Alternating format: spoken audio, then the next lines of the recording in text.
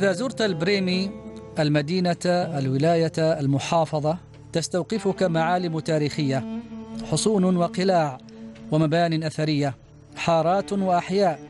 كانت مراكز تجمع حضارية واقتصادية على مدى الأجيال. شكلت تاريخ المنطقة. تقرأ فيها سيرة رجال وأنماط عمران.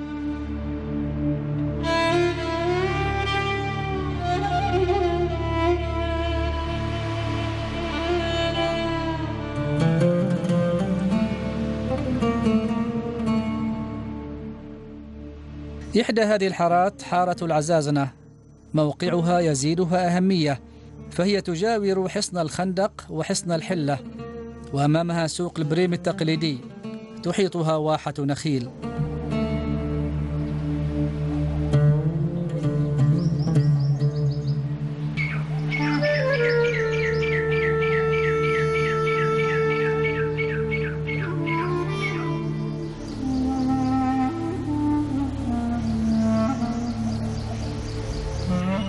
هذا من ظهرت أنا. لقيته بس زادت التحويط من الجهة الشرقية منها أبوي ذاك اليوم بنى وزاد يعني هذا اللي ورا بيت أبوي من الغرب. اللي دار هو هذا اللي زاد لكن تهشمت الآن بعد. أنا كنت مستوي فيها الحارة. وتزوجت وأنا في الحارة. وطلعت من الحارة لما لأن الحارة كانت في السابق ما توصلها السيارة فكنت المريض يونية العيش نشلها شلل لأنها تبدلت الأحوال عن الأول. الأول تدخل يعني حمارة وخلاص. لكن عقب بقت سيارة. بقى الإنسان مريض يودي مريض المستشفى.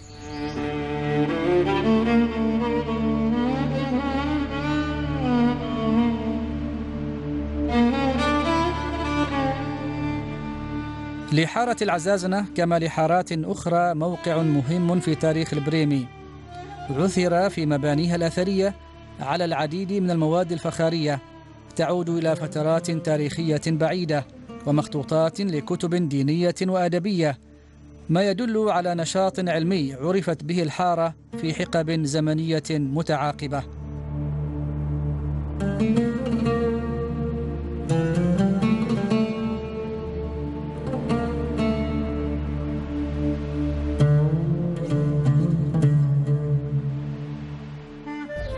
يوم تنتهض النخل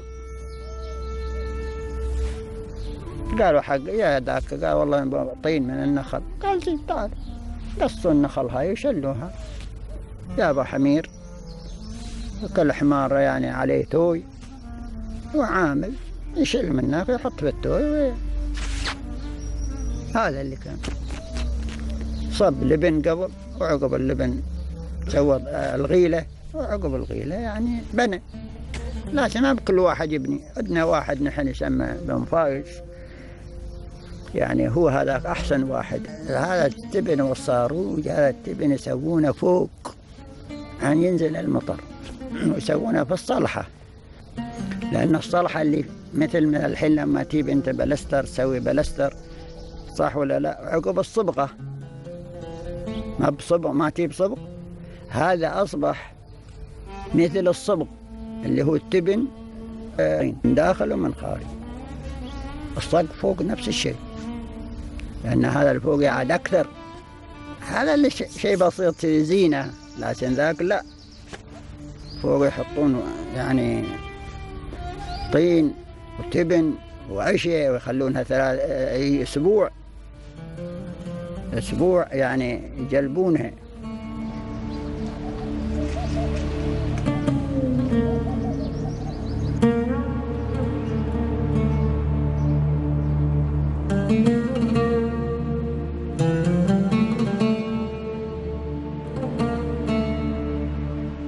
بيوت عديدة في الحارة تحافظ على نمطها المعماري القديم. يرتفع أكثرها لطابقين. كانت مبنية بالحصى واللبن. الطين الممزوج ببقايا القمح والشعير التبن. وهو ما يعطيه متانة وصلابة أمام عوامل الطبيعة. كان المزيج يخلط في أماكن خاصة قريبا من الحارة. يعرف واحدها بالجنور. وهو مداس للحنطة والشعير. ما يدل على نشاط زراعي مزدهر في المنطقة. فكان أهلها يشتغلون بالتجارة والزراعة التي كانت أهم مصادر رزقهم وتتوزع قريبا من الحارة مزارع عديدة يمر بها فلج البريمي.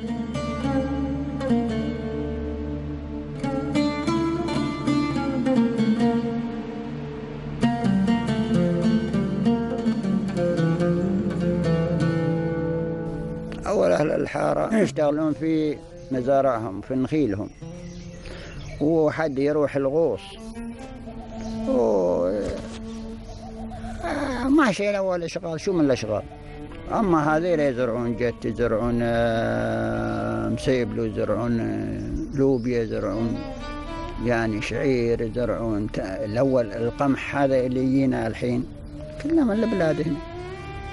الشعير من البلاد القمح من البلاد وكل شيء من البلاد الأول يدقون لحقت عليهم. أنا ي- ينور مسوينه هناك في الشمال وهنا ينور ها هذا بيت المال.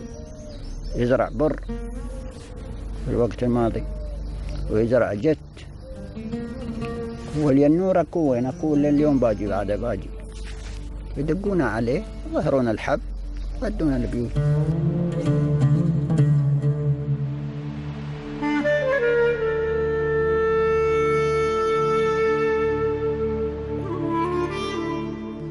الحاجة أم الاختراع مقولة طبقت في مثل هذه الحارات. فعملية البناء اعتمدت على ما تجود به البيئة المحلية من مواد أولية. فالطين مادة الجدران وجذوع النخيل وسعفها أسقف لها. وهندسة البناء تراعي توزيع غرف ومرافق المنزل أو المبنى بما يتيح الاستفادة القصوى من معطيات الطبيعة. تهوية صيفا وتدفئة شتاء وإضاءة طوال العام.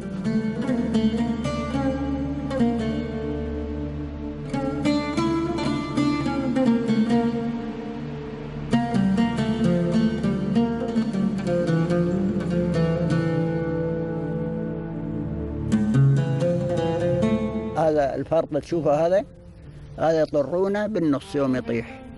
يوم يطيح كبير لا ولا خلاص يعني مشيب خذوه قصوه بالنص وخذوه وقالوا كذي بعد ثاني مرة ثلاث أربع أربعة أرباع هذا واحد وهذا واحد. وهذا واحد وهذا واحد صاروا أربعة. قصصوها هذا يقصون عليه هناك يقايسون المعراض كم طولة كم كم متر وقصوه.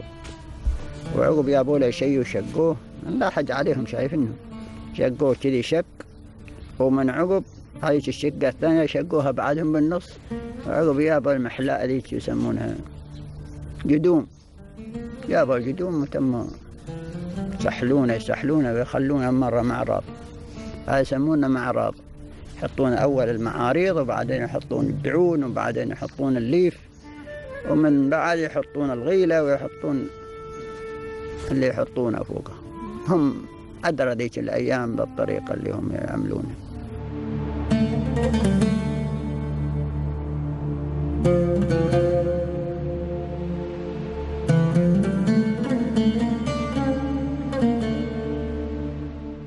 من معالم الحارة قلعة تعرف بقلعة العزازنة ومسجدان تمت إعادة بنائهما. فأهالي الحارة سكنوا المكان فسكنهم المكان. بقي من المباني القديمة ما استطاع صمودا شاهدا على أجيال سكنت ومضت. وبنوا فيما تهدم من العمران بيوتا حديثة. لا يفارقون طرقا درجت عليها طفولتهم وزوايا عمرها آباؤهم وأجدادهم. لتظل الحارة نابضة بأهلها حية. لم تغرهم الفضاءات من حولهم على تركها.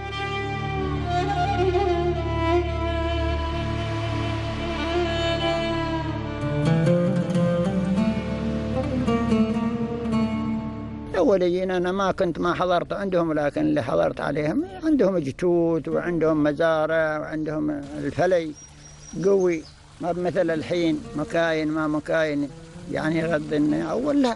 الأول آه، أنت تفضل القهوة وتفضل القهوة ويجيبون قهاويهم ويحطونها ويتقهويهم يروحون في أيام العيد كل واحد ياب فوالته ياب آه، غداء وعشاء ولفوا في محل كل حين يحطون شيء كل حين يحطون هذا مال فلان وهذا مال فلان وهذا مال فلان. هذا غدا فلان. ويأكلون من جميع الأنواع.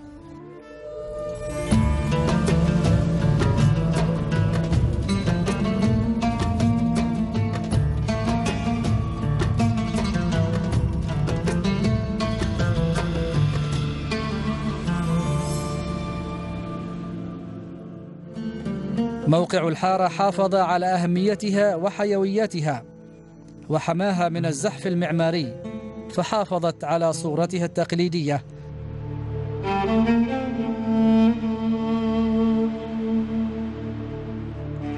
بيوت قديمة وتعمير حديث يعكس تفاوت نمط البناء على مباني الحارة بما يحقق رغبات كل جيل وتطلعاته وحاجاته. والتكيف مع متطلبات العمران في كل عصر.